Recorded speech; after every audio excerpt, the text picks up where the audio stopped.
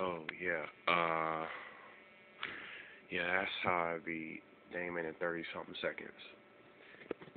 Here's the results.